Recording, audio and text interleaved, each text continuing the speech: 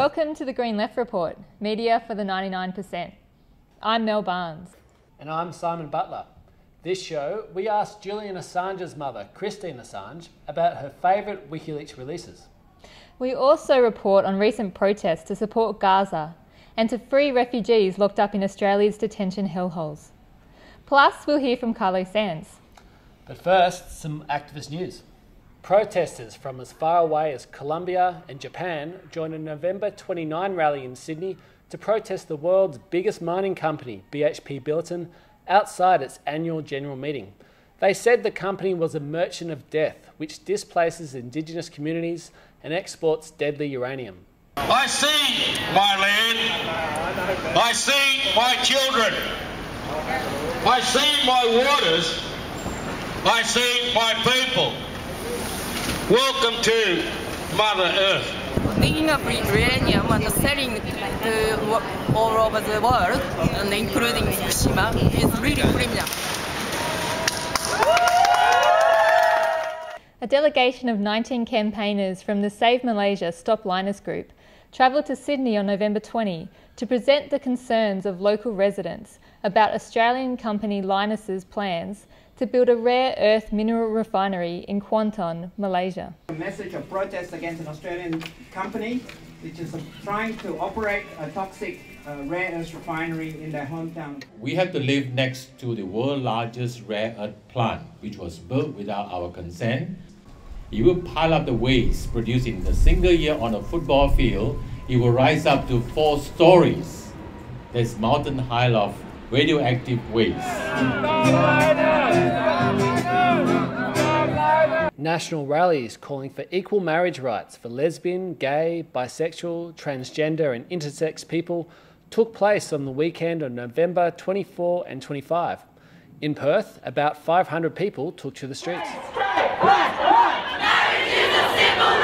That we will see an end to the prejudice and homophobia. One, two, three, four. Smash the homophobic law.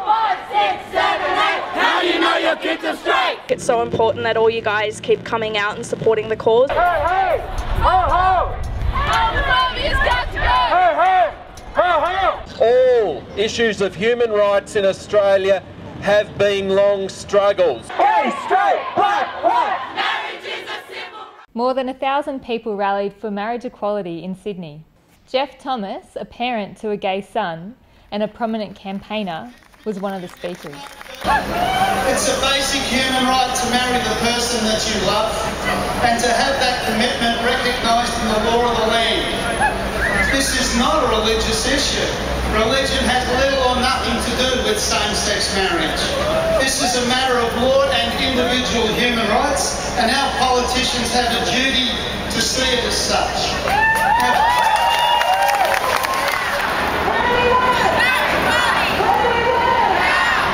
Christine Assange was the guest speaker at Green Left Weekly's annual dinner in Sydney, held on November 10.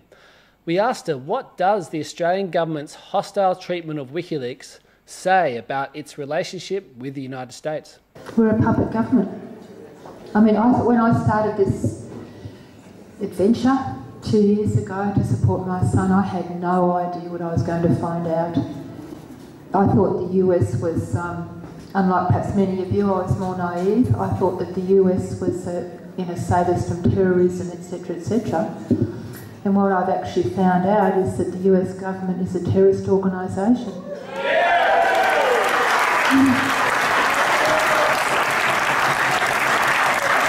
And I'm absolutely disgusted with our government. You know, they've got corns on their belly, they've been crawling for so long. Oh. Julian's lawyers put us 16 different things from the Australian government and we're not back for all 16. Commentators have been calling for, for Julian to be assassinated and killed and garroted, etc., etc., as is their way of dealing with things. And Julian's lawyers asked, could you please ask them to retract those statements? The Australian government wouldn't even ask. Ah.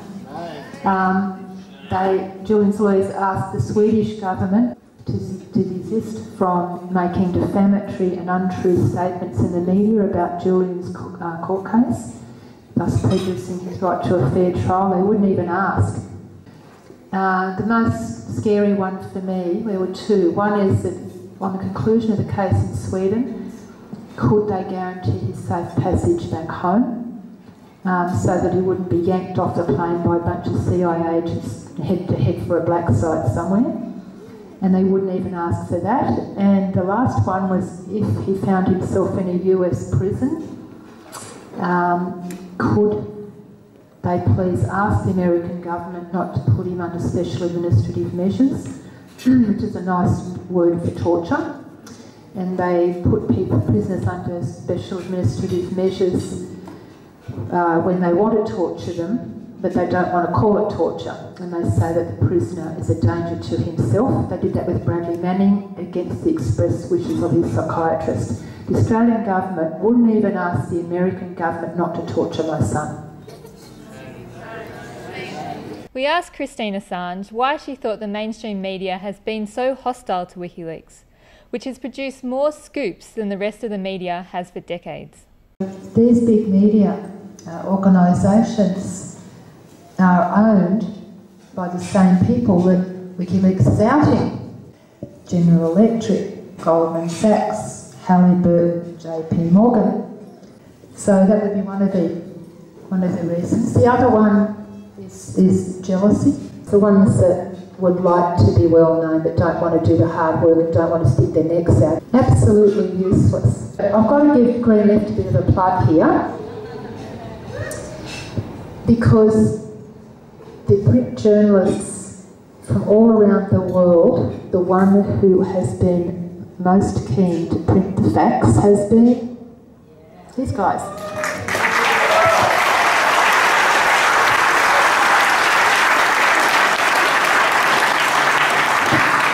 Uh, not only were they courteous to me when interviewing me, but were very keen to get the facts right, and they showed a lot of braveness in, in not holding back, and they, they didn't cut the juicy bits out, in other words.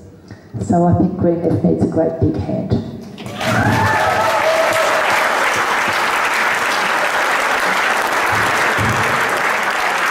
And that's why I'm here tonight, actually to support them. That's why I've come here tonight. I actually haven't come here tonight as, a, something for Julian. I've come here tonight to support Green Left because without this little paper, with the big heart and lots of guts, Australian people don't know what's going on. We also asked Christine what WikiLeaks releases had made the biggest impact on her and had changed the way she thought about politics. First of all, when I found out why Bradley Manning did what he did, the last straw for him, he was asked to take um, 15 Iraqi civilian dissidents to the Iraqi police for torture. And their big crime was running around with a piece of paper that said, Where's the money gone? And that was about the reconstruction rorting, which happens after, after wars, especially with US contractors. And when he objected, he was told to shut up and go and get 15 more. The next one was Haiti, one of the poorest countries in the world, and it had the big earthquake, and people poured money in from all over the world.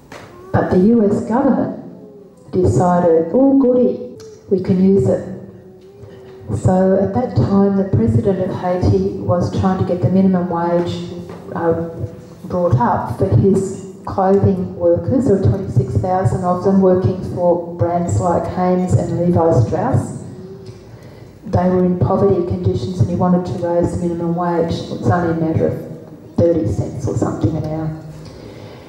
And the American government said, well, if you want to do that, you can forget about any aid for your earthquake. Now, I'm no politician, but that sounds like blackmail to me.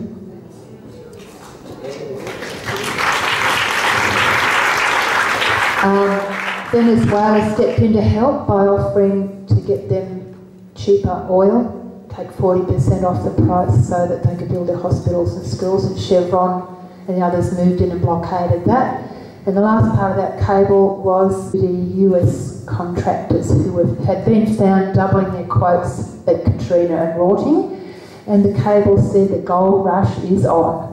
It's not only do they make money out of all the weapons they use, but post disaster, post disaster and post war, then they make a whole lot more money out of rorting in the reconstruction. And a lot of the aid money that goes in from everybody around the world goes to these people. So they just win, win, win every way it goes. You know, there's always a bit of money for them somewhere. Um, back closer to home, two cables stood out. One's an environmental cable, 2007. The Howard government had legislated to protect the barrier reef by um, saying that any big boats that went through the, the Torres Strait had to call the mainland to get a pilot boat to go through, uh, so that to avert um, an oil spill or a gas spill, chemical spill. The US wasn't happy with that. It wanted to take that legislation away, but they resisted. When this current Labor government got in, they tried again. And the cable, it's really fascinating. If you haven't looked at these cables, go and have a look at them. It's to, to see it actually written down, the way these people talk to each other is a real eye opener. So it goes something like this mm, We'd really like to help you, but if we took away the legislation and there was an oil spill, the Australian people would never forgive us. Not, oh dear, there might be a spill on the reef and damage our beautiful reef, but we might get caught out, right? Um, and then it goes along, never mind, that's all right, we thought of a solution. When your boats go through, in other words, the US boats go through, if you get caught, we won't issue a penalty. All right, that's our government. They're the ones that really affected me. I didn't need to do any more than that. I, I, I didn't come out and support Julian because he's my son. I supported Julian's right to a fair trial over the Swedish stuff, okay? But I didn't come out publicly and support WikiLeaks until I was assured that it was a good and useful thing in the world.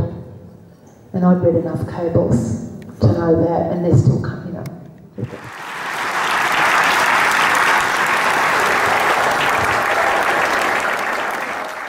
Now for some more activist news. Rallies in solidarity with the people of Gaza took place in several cities across Australia in late November to protest Israel's latest brutal military assault on the enclave. In Sydney, more than 1,500 people showed their support for a free Palestine and their opposition to Israeli apartheid.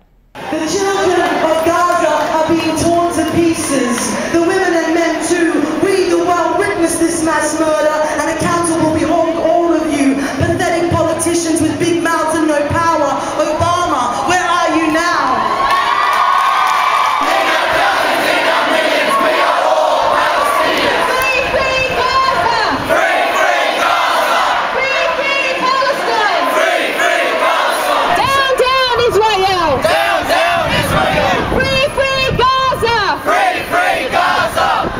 Shawan Jabarin, the Director General of the Palestinian human rights organisation Al Haq, addressed a public meeting at the University of Sydney on November 29.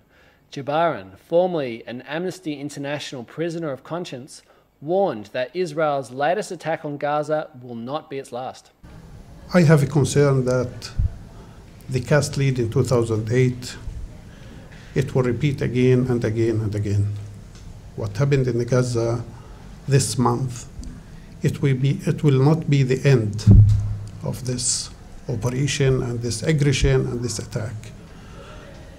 Uh, as you know, uh, since 2009, when they stopped their big operation called Cast Lead, which resulted more than 1,400 people they were killed at that time.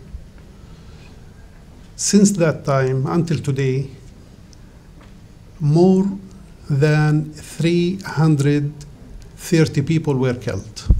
From 8th of November until 22nd of November, 173 were killed.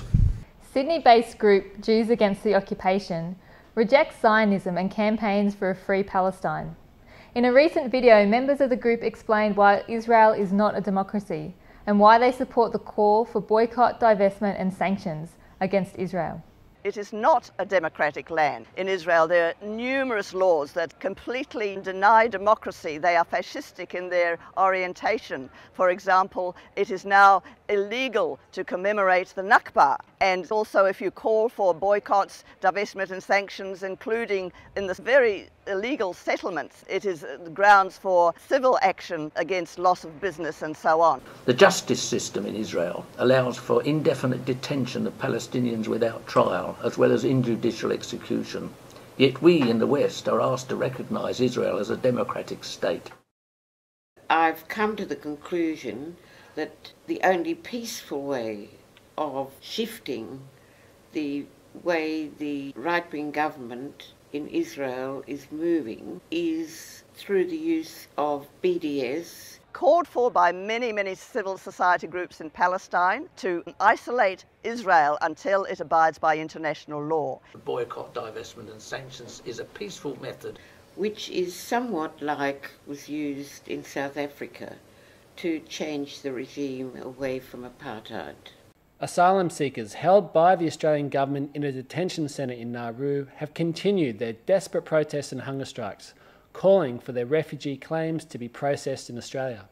The Refugee Action Collective Sydney organised a protest outside the office of Federal Health Minister Tanya Plibersek on November 22 to protest the Labor government's brutal Pacific solution for refugees. Just a few moments ago, we got news that someone has been taken to hospital with kidney failure, and it seems likely that an airlift is uh, going, to, going to be needed. That comes on the back of the Liberal opposition's recent calls for further measures which are going to have no other effect than to hurt and damage people who are just asking us to help them.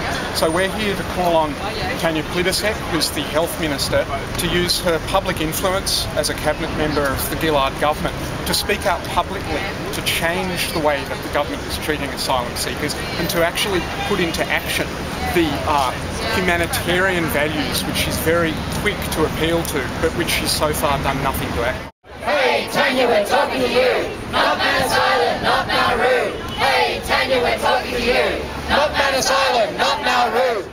And now, let's hear from Carlo Sands. G'day, I'm Carlo Sands. And this is my corner.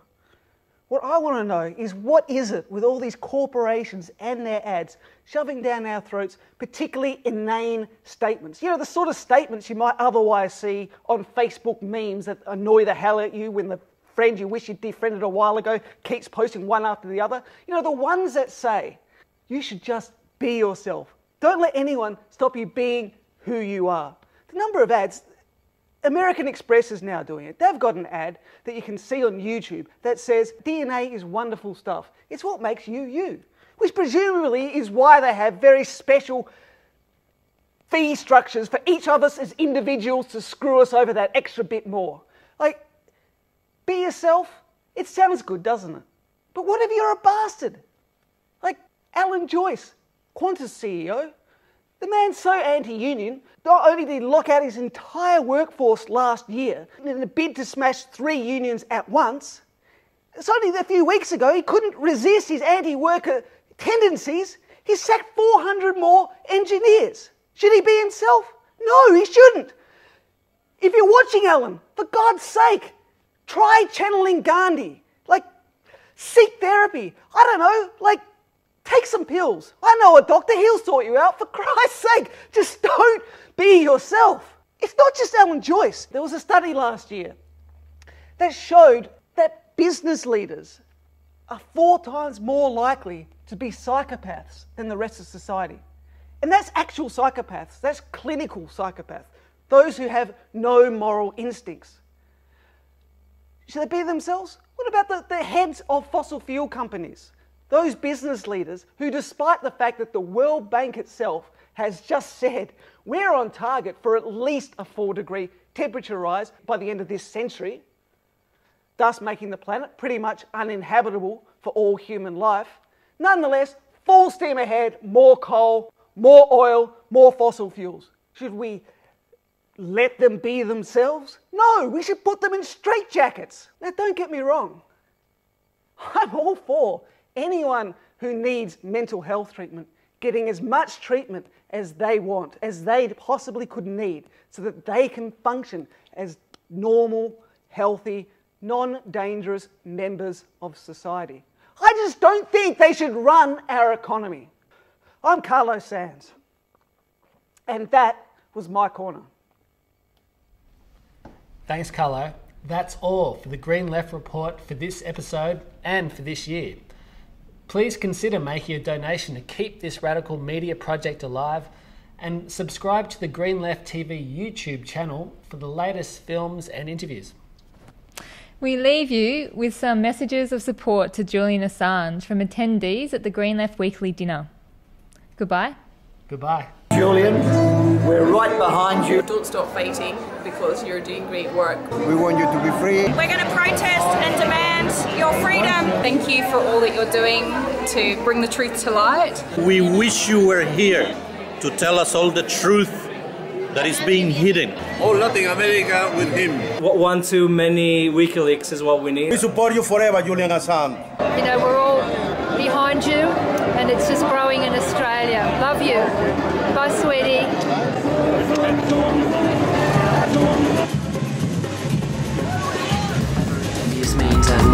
A time was spent with backs against the wall. The gift of life is no gift after all. And so for this the struggle must continue.